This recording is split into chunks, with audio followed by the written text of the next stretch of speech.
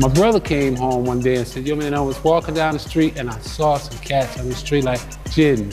And we, we all laughed about it, but I still did not consciously go in my head and think, that's our legacy. All I could think was, wow, they still doing the thing. We were just having fun. I didn't think that this, this legacy was gonna last this long and uh, still prevalent today.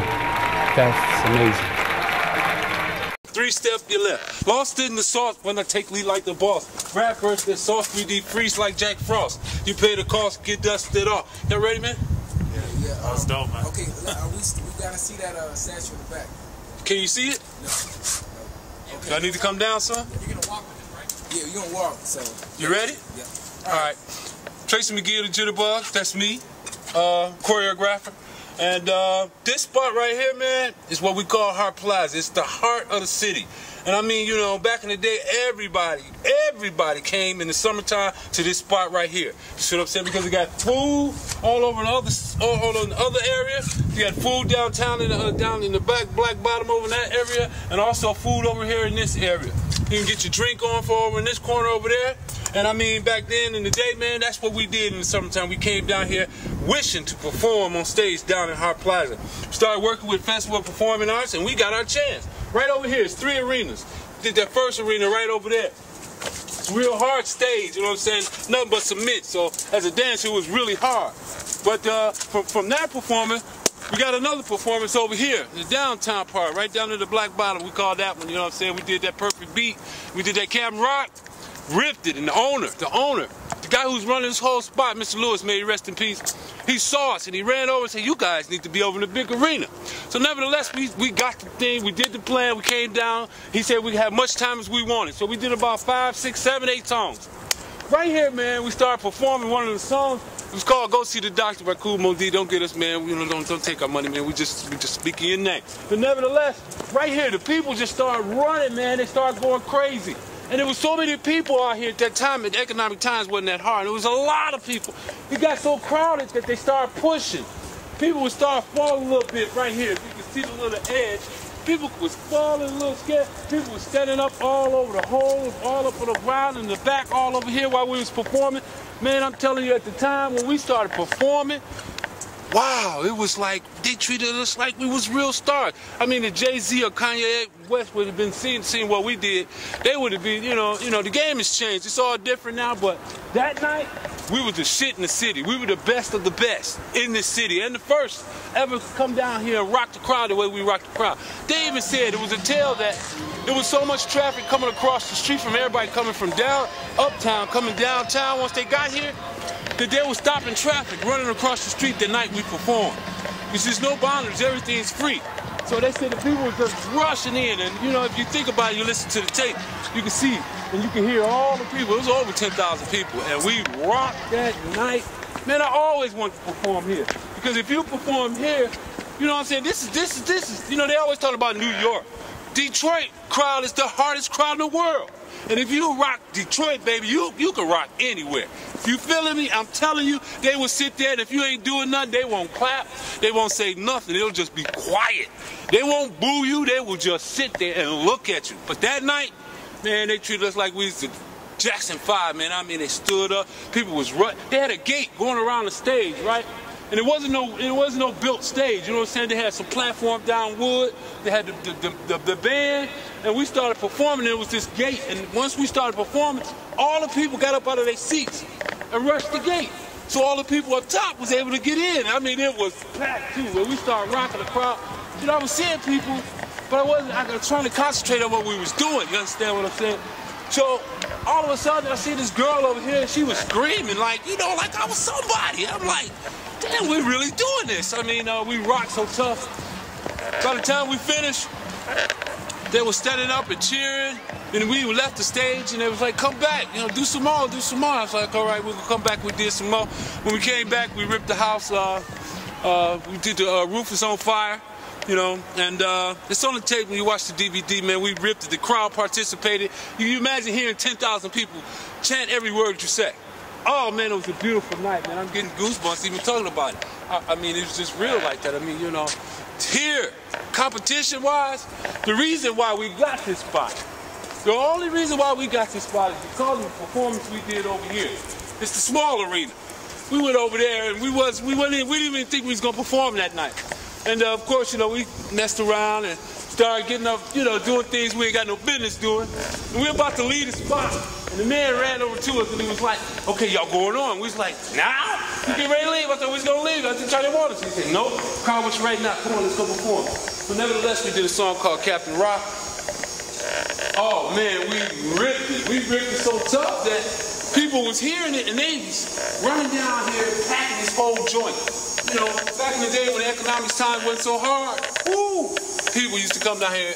And I'm telling you, when we end up ripping it over here, that's how we end up getting over here to the big arena. It was a real magical time, man. I mean, back then life was good. Life was real good. And uh, the city, how you doing, man? The city was beautiful at the time. And uh, there was no commotion, no fighting. You know what I mean? We there wasn't no gang signs and all that stuff. We didn't do it like that. It was just all peace and love. Right over here at this spot over here, man. We ripped it so tough, man. I mean, it was beautiful. If you had seen the show, I don't think we got no footage or anything like that, not even photos. But I believe that anybody who's watching us on the internet when we get on the internet, remember the show that we did down here at the Hunt, at Hart Plaza, Captain Rock? We ripped it, and uh, I think it, it, it's, it's, it made it made it. Put it this way, that's put us on top. Once we got to that position, and it sent us to that big stage over there, you know, from then on we started having real gigs. We started doing all the, we had did all the backyard parties all the clubs, and then we started hitting all the arenas. We started making money that we never thought we would make. You know what I'm saying? It was just, it was a beautiful time, man. And, and uh, I, I, know it's our fan base is still there. They, I'm sure they're asking, what happened to the Jitterbugs? What happened to the Jitterbugs? That's why we're making this tape so y'all can find out. The best, the pioneers of the Jit is still alive. And that's why we're doing this tape right now so you can see it. We got footage, you know. We got my man Halim and my people. You understand? We're putting all this together. You, you feeling me? And I'm telling you, y'all gonna love it, man, because we got footage that nobody's ever seen. Ever. Ever. Right here, man. You come down here and get your fun on, get your eat on. But uh, it's connected right there. If you look, you can see that's where the big arena is. And uh, we had a wonderful time performing down here. We actually performed down here at least two times after the first time, the first year in uh, 78. And uh, by the time the 80s came, got a chance to perform down here one more time. And uh, each time we performed, the people went crazy. I mean, it's kind of hard to even explain, you know, and it seemed like, you know, I'm not even, like I'm making this shit up or something, but I'm not. They treated us as if we were really someone. I mean, to the point where, you know, we signed autographs after shows, we took pictures with people, you know, I mean, and we, we never had a record deal, you know, we never had a record deal, we never, you know, hung with anybody who had a lot of money. Uh, the closest we came to uh, hanging with a rich millionaire was Tim Rice of Gale and Rice Agency, you know, Ford model and all that, because we did the tour with the auto show with them.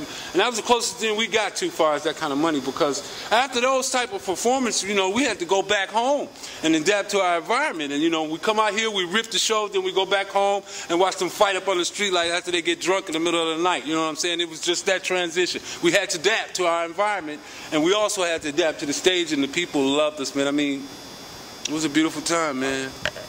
We'll be able to- I don't hear any. Or that sound, that sound in the, the ice cream parlor, in, in the, the Black Stallions parlor. It was a sound you could hear all through his whole interview. If this microphone's blocking out and you can't hear it, then we're good. I'm just, I'm just saying, can you? Like, I hear Yeah, like explain like what JIT is like to somebody that doesn't even know, and like start by saying JIT too.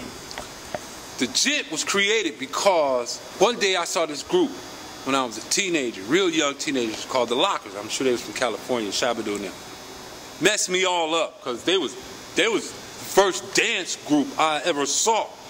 So I didn't want to do what they were doing, but I wanted a dance group. So we started, you know, dancing. See, back in the day, we used to emulate the Jackson Five. So somehow from their footwork, we've transitioned our own dance and style into the jit, where we, we, we, didn't, we didn't use our hips or, you know, we used just our feet. We just use our feet and it was a gangster thing that we would do. You see what I'm saying? So that, you know, for the thugs, you know what I mean? For the thugs. And we danced for the thugs and the gangsters. And it got real popular in the city. And before you know it, the jit started spreading, you know girls started doing it. You would see little kids. It wasn't a time back in the 70s and the 80s that you would go in the neighborhood and see people up on the street like jitting, having the battles. And it was way before the battles of the, the gangs, all this crip walk. Oh, that's another thing. Crip walk came from the jit. Um, they got uh, over in uh, Chicago, the juke, that's the jit. That's our stuff. All that came from us. So don't be claiming our steps over there, man. Y'all know how we get down in Detroit. We'll have to come over there and put some hands on y'all. Do not claim our stuff. You know, back in the day, if you even stole our steps, we come up on stage and put our hands on you. That's just the way it was. So, all you cats in LA talking about the crip walk, ain't no crip walk, man. Somebody came from Detroit and showed y'all the jit. That's why y'all doing the crip walk. Same for Shot Time. The, the, the, what you call it? The juke? The juke? Man, ain't no such thing. It's the jit, dog. Stop stealing, man. Get y'all be original, man. Stop doing that, man. Put your hands on that. Just keep doing what you're doing with your hands. You just gotta get some practice. Thank you. See you. All right. God bless you. Do, do it like this. Do What it about that footwork he was doing in front of there? Or like- like you, like you're talking like, just uh, focus on his foot. No. Does he want to do that again? Yeah. You think? I mean, I Or did you get got it. it. Okay. Like you're talking, like you're making a point. Like, Oh, yeah. And then, you see what I'm saying? When I went back, shit, baby, you should have been there. Shit, fucking tight, straight like that. I can't you know? Another. Yeah. There's, an, there's another right now because we're gonna cut. There's gonna be no talking over that. But let's get his just a shot of his footwork of what he was doing though, without the pen. That way we can cut. You know what I'm saying? Without, without, without, Without the pen. Oh yeah, just that right there. That's dope. Get that again. Don't show that one. Get that one. Oh, you want to get this one? Hey, you like that one, didn't you? Do it again. Oh, boy, y'all don't even know. And I'm an old man doing this. You young bucks? show, okay. show, show, uh, walk, um, Go down this way. Then I'll go back that way. Tell us anything.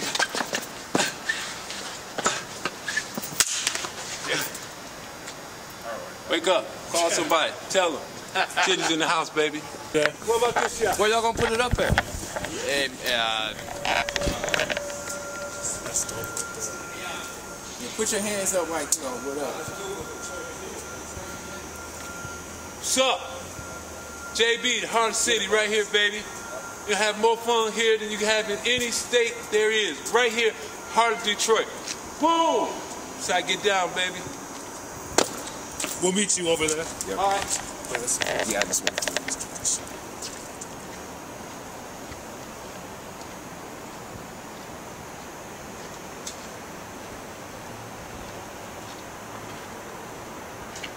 To you, baby. Hope we can catch you down at the museum. We're gonna, we're gonna show the world. It's time, baby, for the world to see what Detroit's best that ever hit the city. Right here. JB. Later.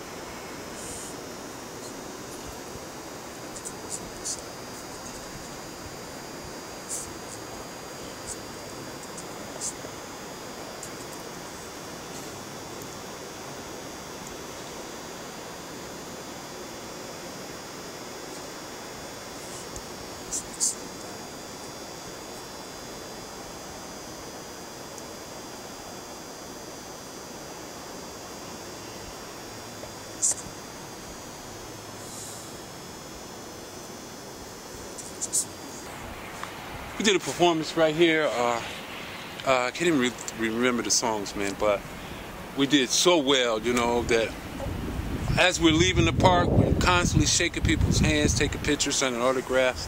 This older guy came walking up to us and he said, uh, "You guys are before your time. Um, there's nothing going to happen for you here. Everything's in. Go west, young man. Go west." You know, we from working with the auto shows, we got a we got with an agent, and uh, we sent him our tape and everything. And he was like, "Please come, please come." But a lot of people don't know, man. You know, we broke, man. We had no money, man. Catch no train back then. You know, you walk where the hell you wanted to go. You know what I mean? You couldn't catch no cab. You had no money for that stuff like that. So to to relocate and go to L.A. You know, we had no people there. I didn't even know anyone there. A friend of mine moved there, but I wasn't gonna go try to live with him if you, if you feel what I'm saying. So, you know, uh, since all the entertainment left the city, like when Motown left, you know, it was hard to get a real deal or you know to get connected you know and so it's a real entertainment levels thing because we had done everything in the city that you could do far as performance concerned so uh, I sent the tape to the guy and the agent, and uh, he said, "Come on down. I got all the work in the world for you guys." But at that time, you know, the money we had made, you know, we got tired of sleeping in other people's houses, and we got tired of, you know, living off each other. And at that time, we had enough money where we can get our own cars and buy our own places to stay. And uh, it was more important to have some stability because at that time, you know, we were making money, but we wasn't making enough to lead a city. So.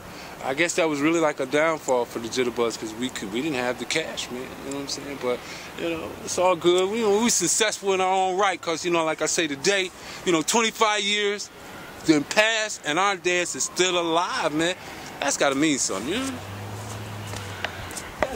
Right after we did one of our best performances, we went home, right? And this is one of the incidents that we would have to adapt to in our environment.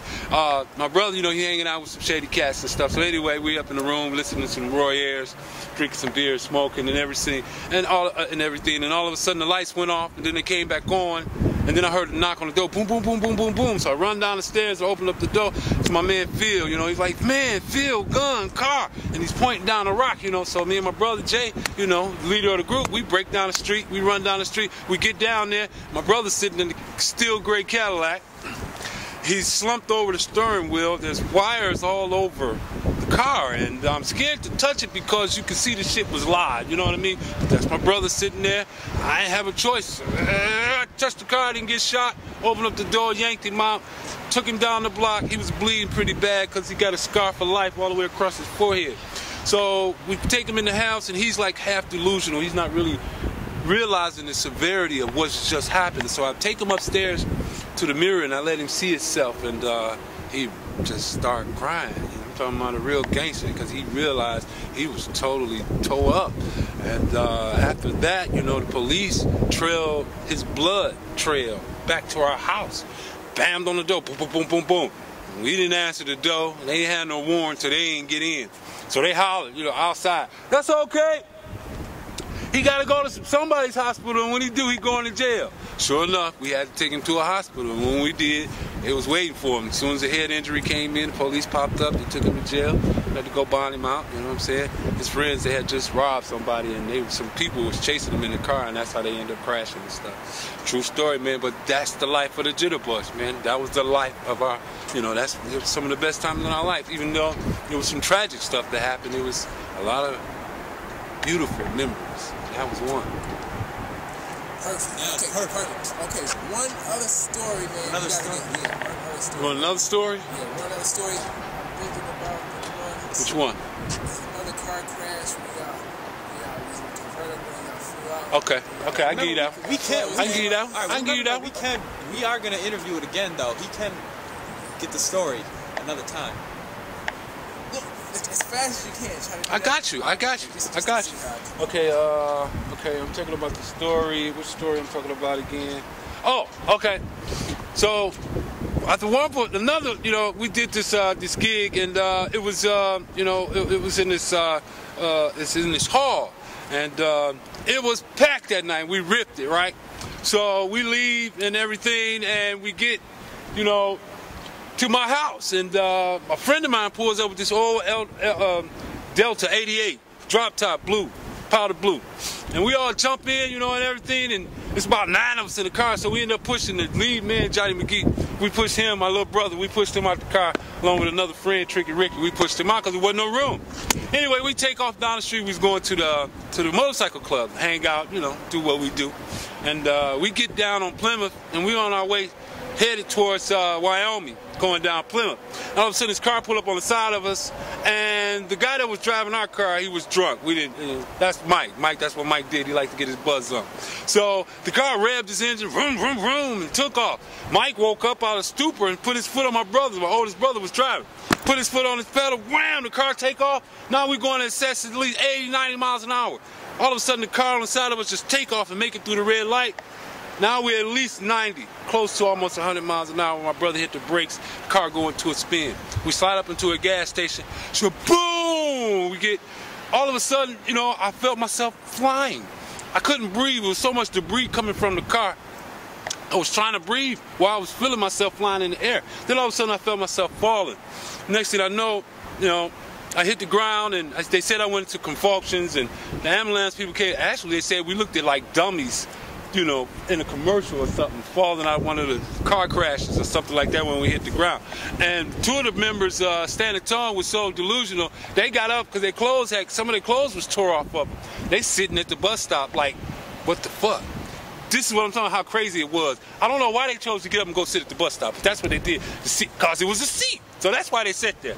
So anyway, we go to the hospital and uh, uh, friend of mine, man, named Steve Johnson, we call him the Green Eye Devil. He came in the hospital, he saw us all laid out, and he was like, he was kind of like, you know, cat we looked up to. And he was like, uh, man, ain't nothing wrong with them niggas, man. Come on, man, let's get out of powder. Get your ass up, man, get up. You know, we got up and left the hospital. True story. Who's responsible for Ready for the World was two ladies, they was attorneys. They was up in there in the Renaissance, we had a meeting with them. and uh, I, I, I, went up there deliberately because I knew they, they had put Ready for the World on the map. And they saw me, they thought I was cute and everything, so they told me to bring my brothers down. So I bring my brothers, but they didn't know we were so hardcore back then. My brother had been hanging out all night. So we get up in the Renaissance and we doing the meeting, right? Through the meeting, we start talking business and publishing and all this other kind of stuff. I look over, my brother is asleep like this. In a meeting, one of our most important meetings ever. He is asleep. James was something else. I mean, one of a kind. He's the only cat that I know that can drink and dance like a jit, one of the best jitters in the city. I, I don't know people who could drink and dance. I mean, this cat could actually drink. And and the performance y'all seen at Hart Plaza that you got on the tape, bet you any amount of money. As a matter of fact, he was drinking that night because and when we got backstage, we got we almost got into a fight because I because I told him I said, man, I told you stop doing that shit. And he pointed his hand back in my hand and we started hitting each other. I was getting ready to kick his ass because he know we don't play that shit. There ain't no getting high no doing nothing when it comes to performing. He, he, he broke all the rules. James broke all the rules. As a matter of fact, that's probably one of the reasons why you see me standing here now, because of him, because he was truly one of a kind. He's really like this gangster JB Jitterbug. That's my brother, big brother. Shout out to you, J Dog. Boom. And it was a lot of competition back there. It was uh, the Camelocks, uh, the Keys, uh, TNT, uh, uh, Hollywood Swingers, all the acts that I just named was the, was the competition in the city, and they banged. They came. We, we had a battle with all of them. It was the, that's when I knew we was the junk because we ended up beating all of the acts that I just named right here, and the people went crazy. But I have to give it to them. It was tough because they was getting down that night. They was banging, they, especially TNT because they used to have this little boy in there. He'd tie himself in a knot and stuff, man. I mean, he was he was incredible, man. But we came out, people just, you know, they just they went crazy. And the phenomenal part about that is, you know, we worked real hard at what we were doing, and we never thought that the people would react that way, and they reacted that way every time. It wasn't one time that we did a performance and the people was like, no, never that. Every time we finished, True story, believe it or not, true story. 25 years and in some time back, even further back. Yeah, every time we perform, man, they gave it up, you know. I miss it. I really miss it. What year did y'all start dancing? I say uh, about 1970. Wait a second. Wait a second. Say we started dancing. Okay. We started dancing 1974. You know, by 1978, uh, 1977. That's when we did the Mackenzie performance, uh, which I talked about on the tape. Man, woo, we killed that night. And by 1978, the year I graduated from Mackenzie, uh, from then on, it was all about the gigs, man. We didn't, there was nothing else. We were just gigging throughout the city, you know, wherever we could and whoever. We did a lot of free gigs. And then in Klein, that's what got us some of our best, uh, some of our, you know, our money. Our, the money that we started making real good money because of a free gig. Like we did a gig for lady at WJLB, and uh, that's how we got to uh, Tim Rice. She gave us a number. She didn't give us no money. She said, "Call this guy." I called him. I didn't call him. And then she called me back and was like, "Did you call this guy?" I was like, "Nope." She's like, "Call this man right now." I called him. Come to find out, this guy is really entrepreneur, very rich individual, and uh, he took real good care of us. Man, we went through at all the shows in Chicago, um, Miami, uh, Philadelphia, uh, Atlanta. We was, we was in Miami, a friend of uh, Luke Skywalker before Luke came, you know, America's best. Uh, he sent this guy up there and he was trying to give us a record deal. He called our hotel room and my brother Johnny answers the phone, the youngest one, lead man of the group, and he's like, hello, who is this? My man was like, Luke Skywalker. You know, we didn't even know who the hell Luke Skywalker was back then because he was no one. So Johnny answered the phone and told, yeah, man, we gonna get with you, man. You know, we uh, busy right now. We working with the uh, agency, and uh, after this is over, we'll give you a call. Which was, uh, he hung up the phone, and I said, Jay, why you do that, man? That's Luke Skywalker. He's like, who is Luke Skywalker? True story. I didn't that was Luke Skywalker, man know that, but I'm saying say that for the, the oh, young oh, kids. Oh, that, that was Luke Skywalker from the Two Live crew, you know, the uh, Born in America, uh, uh, Shake That Thing, a whole bunch. Y'all know who I'm talking about, Luke Skywalker. Come on, baby. He, he ended up being a very famous man, but the time we met him, he didn't he didn't have not one group that we knew of that was hot. I don't even think he had a hot record out, but he had just started this record company. So shout out to Luke, baby. You got busy, man. I gotta give you all the love.